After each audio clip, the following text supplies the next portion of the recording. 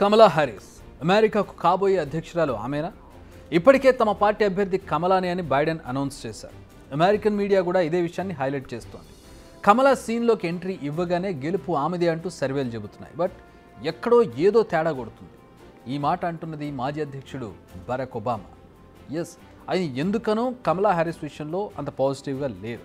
అయితే ఇప్పటి వరకు ఈ విషయాలే బయటకు వచ్చాయి. కానీ ఇప్పుడు ఆయన హ్యారిస్కు మద్దతు ఇవ్వకపోవడానికి రీజన్స్ కూడా తెలిసాయి. అవేంటో చూద్దాం my record as president, my leadership in the world, my vision for America's future, all merited a second term. But nothing, nothing can come in the way of saving our democracy. That includes personal ambition. So I've decided the best way forward is to pass the torch to a new generation. It's the best way to unite our nation. You know, there is a time and a place for long years of experience in public life. There's also a time and a place for new voices, fresh voices, yes, younger voices. And that time and place is now. Over the next six months, I'll be focused on doing my job as president. That means I'll continue to lower costs for hardworking families. ప్రస్తుత America అధ్యక్షుడు next జరిగే elections నుంచి తప్పుకుని అస్త సన్యాసం చేసిన Biden చెబుతున్నదేంటి? నా వారసురాలు కమలా హ్యారిసే డెమోక్రట్లతో పాటు America మొత్తం ఆమెకు మద్దతు ఇవ్వాలని రిక్వెస్ట్ చేశారు. అంతేకాదు కొత్త తరానికి అవకాశం కల్పించాలని దానికి ఇదే సమయం అంటూ చాలా ఎమోషనల్గా మాట్లాడారు బైడెన్. సో మనస వాచ కమలాకే తన ఓటని వైట్ హౌస్ సాక్షిగా చెప్పారు బైడెన్. ఇది బైడెన్ మాట. ఇక పార్టీ విషయానికి వద్దాం. కమలా పేరు అధ్యక్ష రేసులోకి ఎక్కగానే ఒక్కసారిగా పరిస్థితులు మారిపోయాయని చెప్పాలి. డెమోక్రాట్లు గెలిచేందుకు అవకాశాలు పెరిగాయని సర్వేలు చెబుతున్నాయి. అంతేకాదు ఆమెపై పోటీ చేసేవారి సంఖ్య కూడా తగ్గుతున్నట్టుగా కొన్ని మీడియా హౌజులు కథనాలు ప్రసారం చేస్తున్నాయి. బట్ ఈ పార్టీలో అత్యంత కీలకమైన వ్యక్తిగా ఉన్న ఒబామా మాత్రం హ్యారిస్ను అధ్యక్ష అభ్యర్థిగా అంగీకరించడం లేదని టాక్. ఎందుకు? ఒబామా ఆమెను వ్యతిరేకించడానికి కారణాలేంటి? కమలా హ్యారిస్ డొనాల్డ్ ట్రంప్పై పోటీ చేస్తే ఆమె గెలవలేరు. ఆమె ఓ అసమర్థురాలు. మైగ్రెంట్స్కు హెల్త్ ఇన్సూరెన్స్ ఉండాలని చెప్పారు.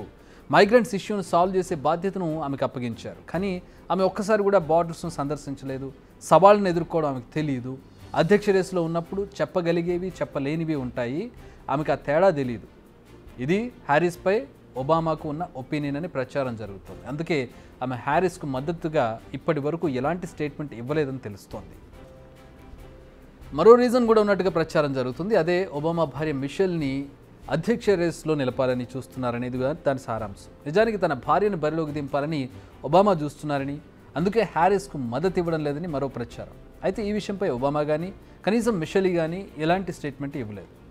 ఈ స్టేట్మెంట్ చెప్పింది ఎవరో అల్లాటప్ప వ్యక్తి కాదు అమెరికా సెనేటర్ టెడ్ క్రూజ్ దీన్ని కూడా ఏకపక్షంగా కొట్టేయలేవు.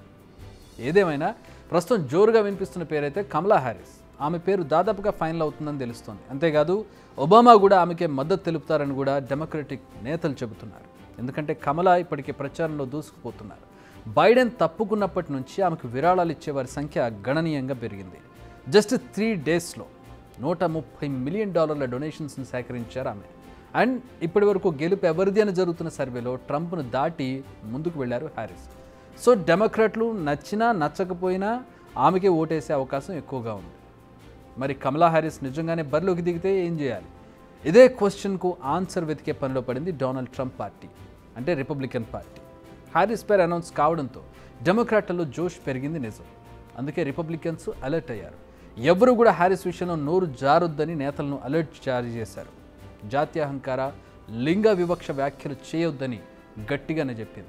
కేవలం బైడెన్ యంత్రాంగం ఆమె వైఫల్యాలను మాత్రమే హైలైట్ చేయాలని చెప్పింది ఇదే డైరెక్షన్లో ట్రంప్ అడుగులు వేస్తున్నారు.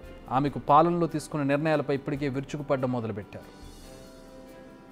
ఏదేమైనా ప్రస్తుతం అమెరికా ఎలక్షన్స్కు కౌంట్ డౌన్ కొనసాగుతోంది. ప్రస్తుతం అధికారికంగా డెమోక్రాట్లు తమ అభ్యర్థిని ప్రకటించడానికి మరో ఇరవై రోజుల సమయం ఉంది. కానీ ఈలోపే పరిస్థితిని తమకు అనుకూలంగా మలుచుకునేందుకు ట్రంప్ ప్రయత్నిస్తున్నారు. మరోవైపు హ్యారిస్ కూడా తానే అధ్యక్ష అభ్యర్థిని డిసైడ్ అయిపోయి ప్రచారం నిర్వహిస్తున్నారు.